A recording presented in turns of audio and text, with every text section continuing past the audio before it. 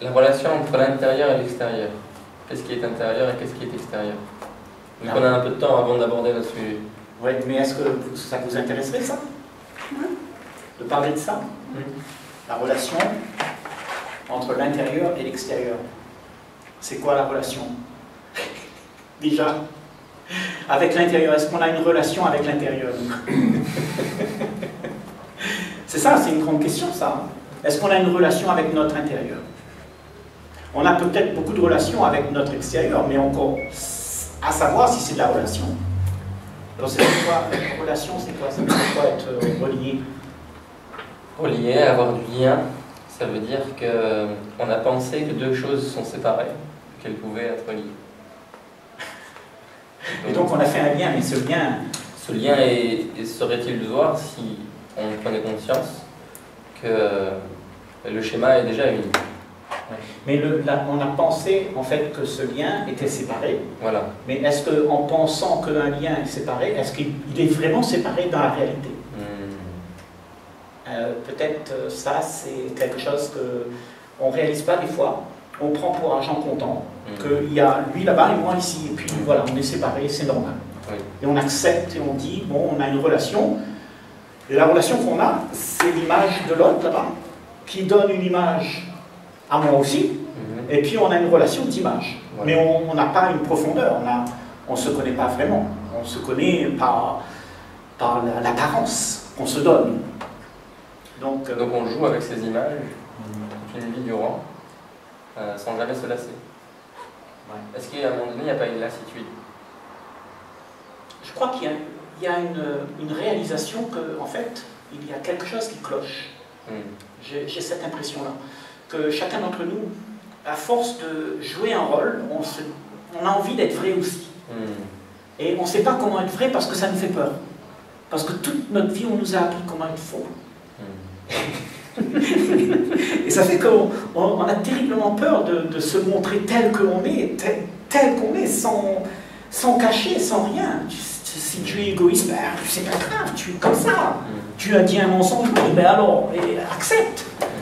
Mais il, semble semblerait que nous cachons beaucoup de choses de notre, de notre être, parce que l'autre euh, va nous juger. Il va nous montrer du doigt, il va dire, normalement c'est comme ça, comme ça, comme ça qu'on doit exister. et nos religions nous l'expliquent, nos mères nous l'expliquent, euh, nos écoles nous l'expliquent, et tous on doit se mettre au diapason d'une société, d'une volonté collective qui nous dit euh, comment être. Et c'est comme ça qu'on est. Si on pouvait voir euh, les images qu'on a posées sur chaque chose, euh, qu'est-ce qu'on verrait? Il y a, On se dit, il y a les pensées du monde, les gens qu'il y a dans le monde, donc euh, les images qui sont à l'extérieur. on peut dire aussi les images qu'il y a dans ma tête, les images qui sont à l'intérieur. la sensorialité que j'ai, c'est par rapport au monde extérieur, ce que je ressens par rapport à mon monde intérieur. Et tout ça, est-ce que je l'ai créé? Ou alors, est-ce que c'est quelque chose qui est et qui est naturel euh, Est-ce que si je lâche prise sur une image, je ne tape pas mon identité Parce que je, dis que je suis, par exemple, c'est un exemple, musulman, l'autre est chrétien. Et je trouve mon identité par rapport à ça. Si j'enlève l'image que j'ai mise sur l'autre, l'image que j'ai mise sur moi, il n'y a plus aucun élément de distinction. Et ça peut paraître comme une perte d'identité. Je ne suis plus personne. Je ne suis plus rien de ce que je pensais.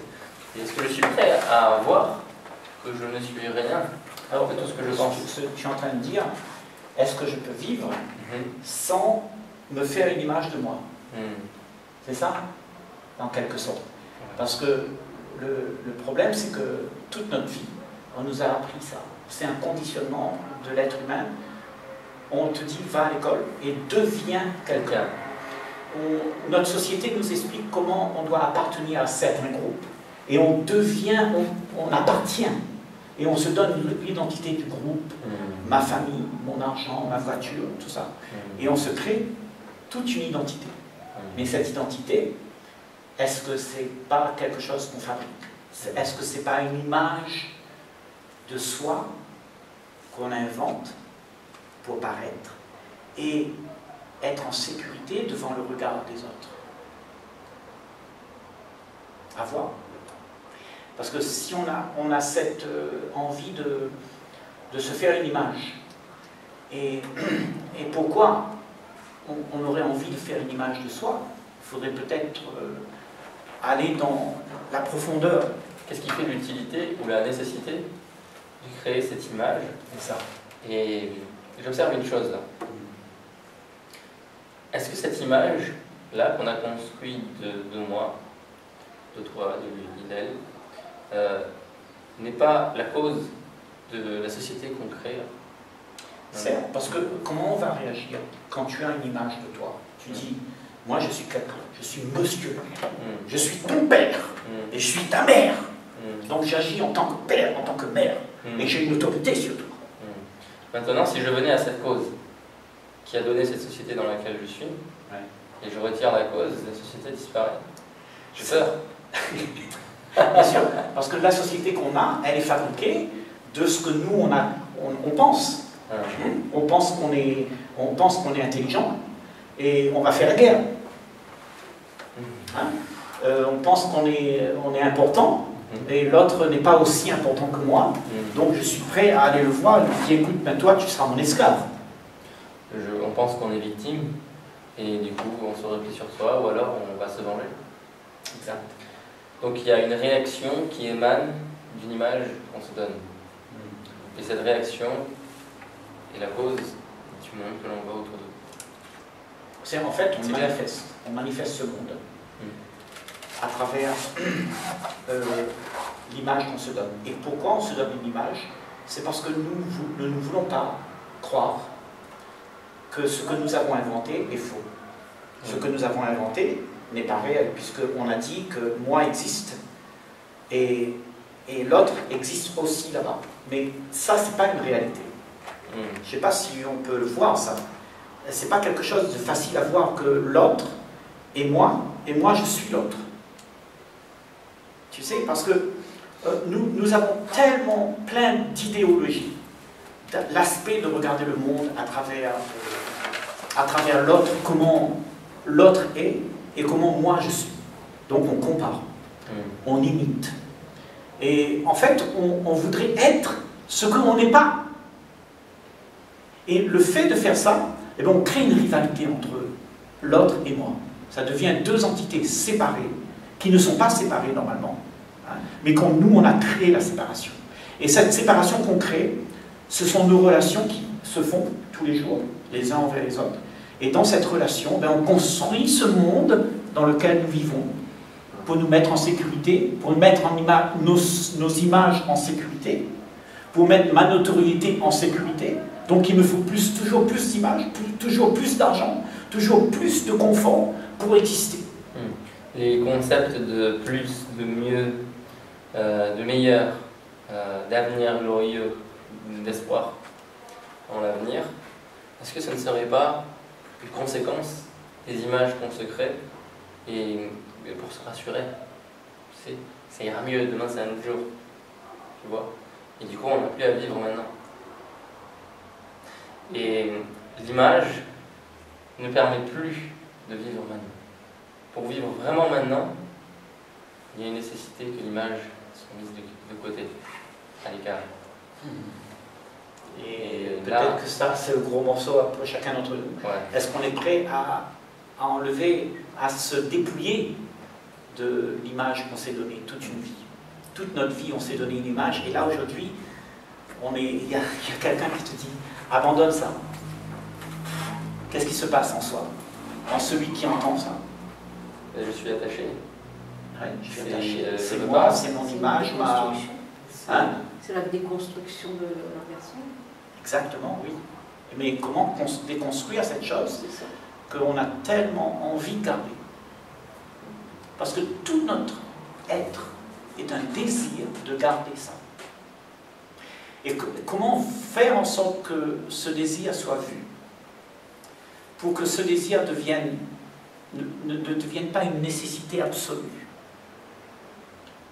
Parce que le désir nous dit protège-toi. Le, désir nous dit euh, deviens quelqu'un pour être protégé, pour être reconnu, parce qu'autrement tu ne seras rien. Donc il y a tout cet enchevêtrement qui nous explique comment nous comporter face à l'un et face à l'autre. Et être rien, personne ne nous l'a appris. on le savait déjà. personne ne on a, on a, Quand on est né, on est pieds nus. On n'avait pas à comparer nos chaussures avec celui du voisin. Et je crois qu'on n'est pas rien, on est prodigieusement intelligent. Hmm. Parce que le corps est prodigieusement intelligent, déjà, à la naissance. Hein. Hmm. Et donc moi je serais... De dire que Je, serais partant de dire que on a une prodigieuse intelligence dès la naissance, et après on est, on est moulé, on est façonné, on est, non, on est formaté. Et, après, on est victime de ces images qui ont été plaquées et qu'on n'a pas choisies. Et est-ce que cette intelligence, c'est l'intelligence que nous sommes euh, Et donc, il y a l'intelligence qu'on est et l'intelligence, ce qu'on fait avec cette intelligence. Par exemple, si on, quand on regarde la montagne, d'accord euh, qu'il y a une beauté, il y a une intelligence avec la verdure, les arbres, avec cette harmonie qui existe. Mais ce qu'on fait avec cette intelligence devient... Il y a, quelque chose de divergent.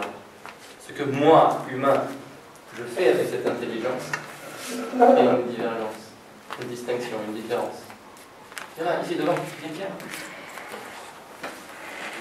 C'était exactement la chaise sur Est-ce que tu vas venir là J'en ai marre.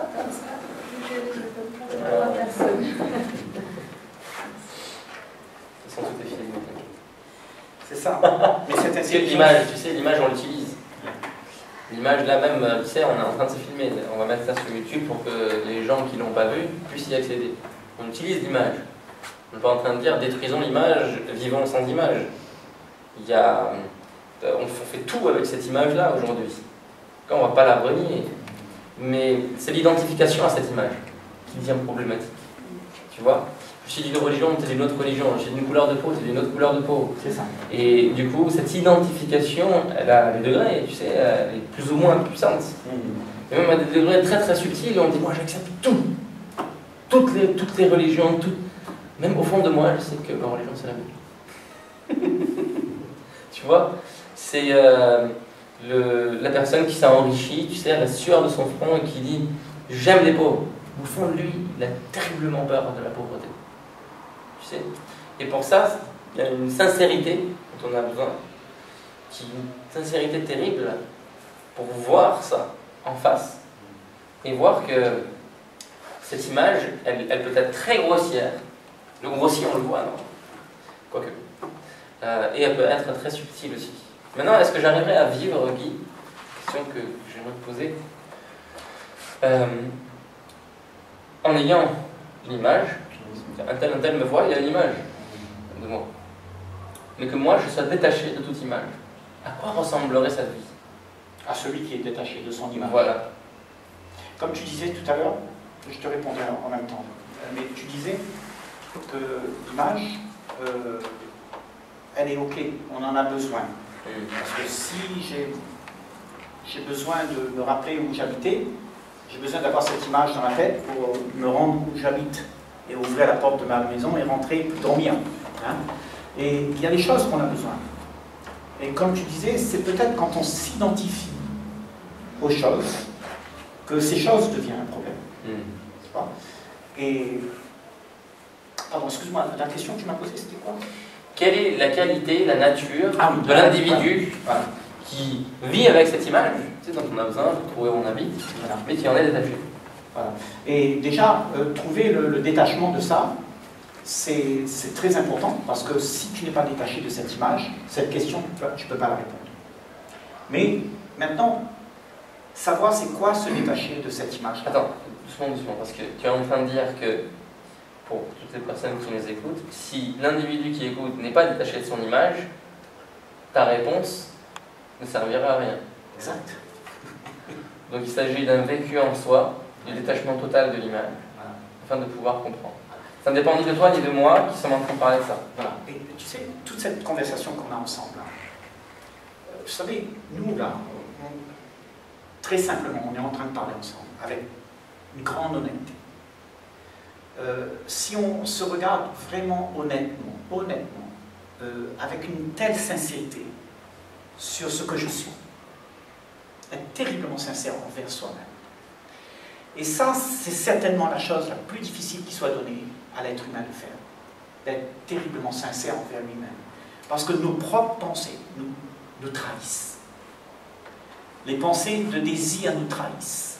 Parce que ces pensées de désir nous font rêver d'un état qu'on n'a pas maintenant, mais qu'on aura plus tard.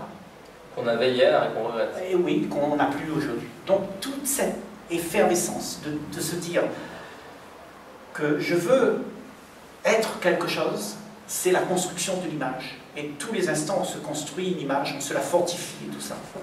Maintenant, si tu, si tu arrives à faire ça, si tu arrives à, à regarder le monde euh, sans juger, sans désirer, faire une observation de ce qui t'entoure, sans qu'il y ait un préjugé déjà dès le départ. Quand tu vois, euh, quand tu vois un clochard, et si tu vois à côté du clochard, il y a un riche, ben, tu ne fais pas de différence. Tu dis pas ça c'est le clochard, ça c'est le riche. Tu observes tout simplement qu'il se passe quelque chose. Il y a ça. Une fleur qui est jolie et une fleur qui est moins jolie. Tu dis pas ça c'est je préfère ça ou j'aime pas ça. Tu acceptes de regarder les choses comme s'il n'y avait pas de comparaison. C'est seulement dans la comparaison qu'on crée l'image qu'on aimerait avoir. Parce que la comparaison nous fait savoir qu'on n'est pas valorisé. Et là, ce, dont on parle là, c'est... On, peut le, définir de manière scientifique, euh, prendre des références et le dire, mais le langage qui est employé est accessible de tout le monde, pas besoin de savoir lire ou écrire pour l'aborder, et c'est ça qui en fait toute la beauté. Et euh, comme tu dis si bien, cette différence-là qu'on a fait, le cerveau, il est comme programmé pour ça. C'est-à-dire, on regarde un, match de, foot, on regarde euh, un, jeu de sport à la télé, tout de suite, il y a une prise de parti que fait le cerveau. C'est qu'au niveau des couleurs, au niveau du faciès des gens qui sont là, euh, qu'on voit dans l'image. Une prise de position. Et c'est quasiment, automatique, c'est une fraction de seconde. On ne peut pas s'en rendre compte en, mettant en place un tour de contrôle pour dire je vais contrôler ça. Mais je peux observer ce qui se passe à ce moment-là, quand je suis en train de voir et voir cette prise de parti. Et dès que je l'ai vue, c'est fini. Et certainement, quand tu vois ça, quand tu vois cette prise de parti que tu es en train de faire, tu peux réaliser, parce que celui qui réalise ça, que celui qui perçoit, c'est l'intelligence de nous, les êtres humains, de soi. Il y a une intelligence dans le soi. Tu veux dire par là que cette observation-là a quelque chose de différent de la pensée? Oui. Mais cette observation-là, elle va euh, justement voir euh, ce qui se passe. Mhm. Et en voyant ce qui se passe, en voyant que tout n'est pas divisé, mhm. en voyant qu'on s'est leurré, eh bien, on a une, une différente vue et la perception qu'on a de nos, de nos, schémas de pensée qui sont conditionnés, eh ben, elle, s'effondre. C'est comme si tu as compris que le Père Noël n'existait pas. Quand tu sais que l'histoire du Père Noël n'a aucune valeur pour toi, c'est fini. Et tout ce que tu penses n'a plus de valeur. Et tu vois que maintenant, quand tu regardes quelqu'un, il n'est pas différent de toi, il est toi. Ben, tu, ne le critiques jamais. C'est toi. Et c'est comme ça qu'on peut vivre ensemble. Mais en ayant, en ayant euh, détruit euh, par la perception du vrai ce qui est faux.